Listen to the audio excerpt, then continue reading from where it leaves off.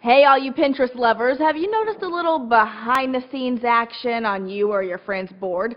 Been getting rear ended? Well, blame it on Pinterest security. Apparently, it's not all it's cracked up to be. You, you think there were enough puns in there, or? Now that that's out of the way, if you haven't figured it out, Pinterest got hacked with, among other things, a flood of butt pictures. But it was just one butt in particular, you know, just, just to be specific. And outlets are having a heyday with the Bootylicious hack, which were actually ads for weight loss supplements. But on a serious note, who really wants a bunch of butts pinned on their boards?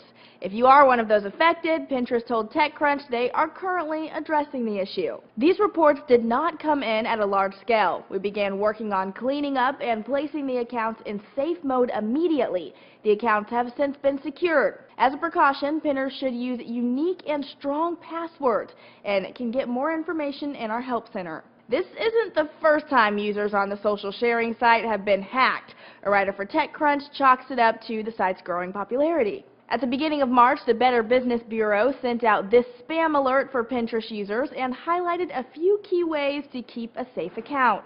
They recommend never clicking on uncommon pins by your friends, be wary of third-party apps, and report anything suspicious, or dial 1-900-MIX-A-LOT and kick them nasty thoughts. Right. He tried.